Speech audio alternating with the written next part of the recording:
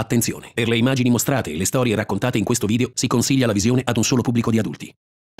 Una squadra speciale dell'anticrimine accusata dell'assassinio di una star della musica. L'alto funzionario di polizia, capo dei capi della cupola criminale. Omicidi e rapine di una gang formata da poliziotti. Ciao, sei su True Crime 6 e questi sono sei casi di crimini compiuti da forze di polizia.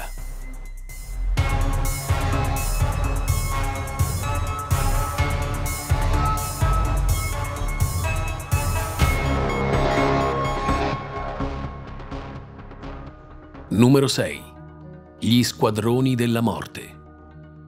Il BOPI, acronimo di Battaglione per le operazioni speciali di polizia, è un gruppo di intervento delle forze speciali brasiliane impiegato da fine anni 70 per agire nelle aree ad alto tasso di criminalità come le favelas di Rio de Janeiro, da sempre nelle mani di gruppi armati di trafficanti di droga che si mescolano alla dilagante povertà e al degrado delle baraccopoli.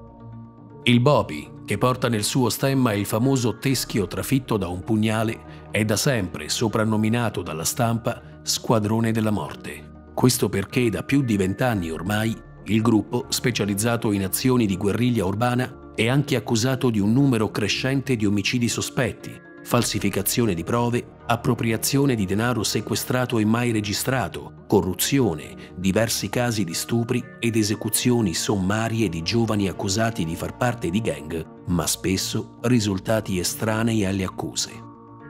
I casi da esaminare sarebbero centinaia, ma anche Amnesty International ha in varie occasioni segnalato la violenza dilagante della polizia brasiliana accusandola dell'uccisione di civili. Ispirato alla storia del Bopi, è stato prodotto nel 2007 il film campione di incassi Tropa d'Elite. Numero 5. I crimini sessuali di Bastard Dave.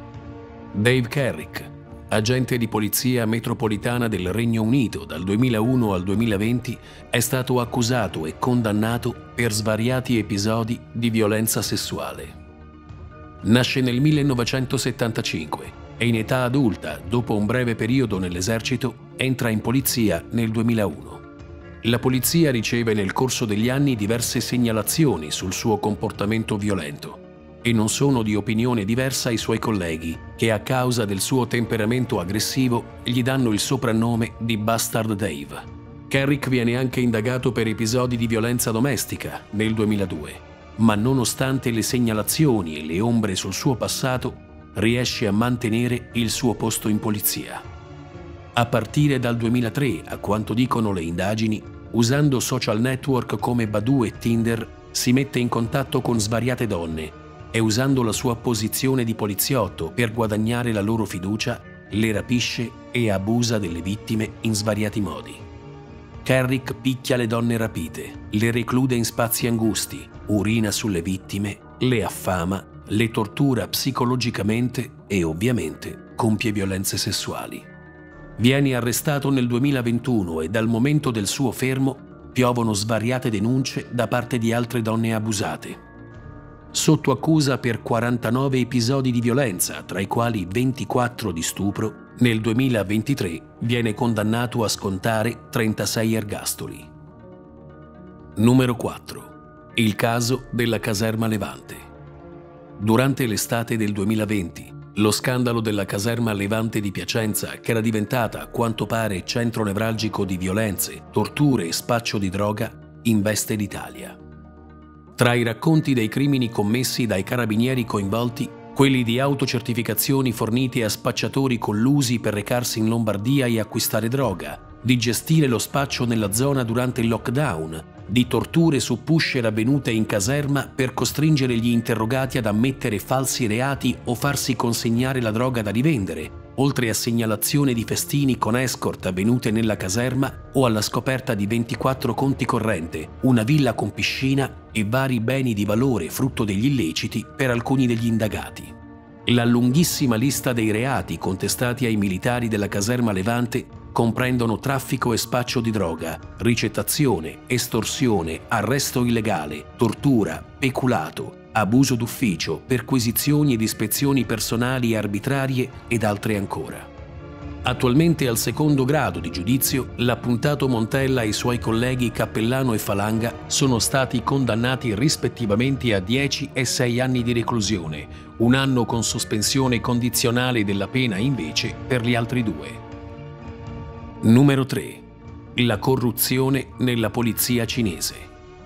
Wen Chen è stato vice capo della polizia e poi direttore dell'ufficio giudiziario municipale di Chongqing, nel centro-sud della Cina. Approfittando della sua posizione e della sua immagine di eroe dell'anticrimine, ottenuta a seguito della cattura di Chan Chun, un noto criminale a capo di una gang, Wen stabilisce, grazie ad una fitta rete di corruzione nella polizia che fa affari con la malavita, un intricato sodalizio criminale con cinque gang dell'aria coprendo nel corso degli anni le loro azioni criminali in cambio di enormi somme di denaro.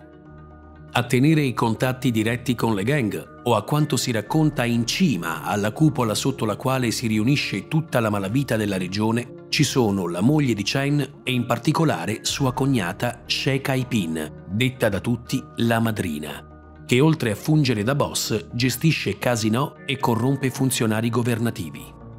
Dalle inchieste che hanno portato all'arresto di Wen Chen, di sua moglie e di sua cognata, le persone arrestate e coinvolte nello scandalo, tra le quali criminali comuni, civili, agenti di polizia e alti funzionari del governo, sarebbero più di 3.000 accusato di favoreggiamento, corruzione, di aver intascato tangenti per 12 milioni di yen, quasi 2 milioni di euro, e dello stupro di una studentessa universitaria, Wen Chen viene condannato e messo a morte dalla giustizia cinese il 7 luglio del 2010.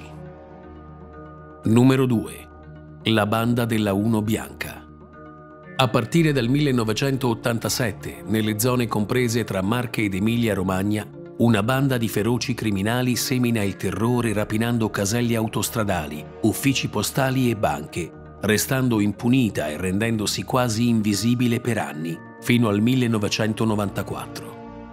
Unico raccordo nelle indagini è quello che a commettere i crimini sarebbe un gruppo di rapinatori che viaggia spesso a bordo di una Fiat Regata. Per questo il giornalismo battezza inizialmente i rapinatori come la banda della Regata Fantasma.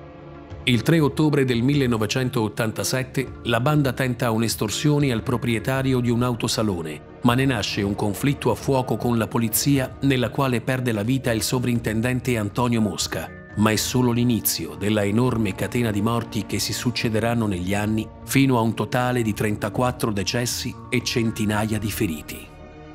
A perdere la vita nel corso delle irruzioni e delle rapine di quella che da lì a poco verrà rinominata Banda della Uno Bianca sono, tra i tanti, le guardie giurate Giancarlo Picello e Carlo Beccari, i carabinieri Cataldo Stasi ed Umberto Errio, un'intera pattuglia di carabinieri a Bologna, altri uomini delle forze dell'ordine e decine di civili malcapitati. È solo nel 1994, quando il magistrato Daniele Paci organizza un pool per fermare la banda, che le indagini dell'ispettore Luciano Baglioni e dell'assistente capo Costanza portano dopo meticolose indagini e pedinamenti all'identificazione dei sei membri della banda, cinque dei quali, come ormai noto, si scoprono essere agenti di polizia. Ragione per cui negli anni erano sempre riusciti a nascondere le loro tracce o anticipare le mosse dei colleghi. Arrestati e condannati, tre di loro, i fratelli Savi, scontano tutt'oggi l'ergastolo, mentre Gugliotta, Occhipinti e Vallicelli sono da qualche anno liberi per buona condotta o per aver terminato di scontare la loro pena. Se questo argomento ti interessa e vuoi saperne di più sulle cronache, le indagini e i misteri della banda della Uno Bianca, ti consiglio la lettura di Quelli della Uno Bianca di Pietro Baroni. Trovi anche un link in descrizione. Ma proseguiamo. Numero 1. Lo scandalo Rampart. Nei primi anni Ottanta la polizia di Los Angeles crea le unità Crash, squadre speciali di agenti designati a contrastare i reati delle gang di strada. Il gruppo Crash della divisione Rampart di Los Angeles, però, si scoprirà negli anni essere diventato a sua volta una delle gang più temute della città. Gli agenti Nino Darden, Rafael Perez, David Mack e numerosi loro colleghi si rendono responsabili nel corso degli anni di pestaggi, rapine, traffico di droga, di fare affari con le gang, in particolare con i Bloods, dei quali alcuni agenti del crash spesso vestono anche i colori e in diversi casi di omicidio. Tra alcuni dei fatti più eclatanti, l'omicidio dell'agente Rampart Kevin Gaines, stretto contatto tra gli altri di Suge Knight, gangster e proprietario della Death Row Records, da parte di Frank Liga, un altro agente che lavora sotto copertura e che lo uccide in circostanze mai del tutto chiarite. Poi la rapina di 722 mila dollari alla Banca d'America per la quale viene accusato l'agente David Mack o ancora l'accusa da parte di molti che siano stati proprio agenti del crash, gli autori materiali dell'omicidio del rapper Notorious B.I.G. Quando lo scandalo esplode, ad essere indagati sono più di 70 agenti della polizia di Los Angeles, per molti dei quali scattano processi e condanni a vario titolo per una serie enorme di reati che vanno dalla rapina a mano armata a tangenti alla violenza privata e all'omicidio. Allo scandalo Rampart di Los Angeles sono ispirati la serie tv The Shield di Sean Ryan ed il film Training Day. Sei su True Crime 6 e questi erano sei casi di crimini compiuti da forze di polizia. Se ti è piaciuto questo video, clicca like e condividi. E se sei appassionato di questi argomenti, iscriviti al nostro canale e clicca sulla campanella per rimanere sempre aggiornato sui prossimi video. Alla prossima settimana.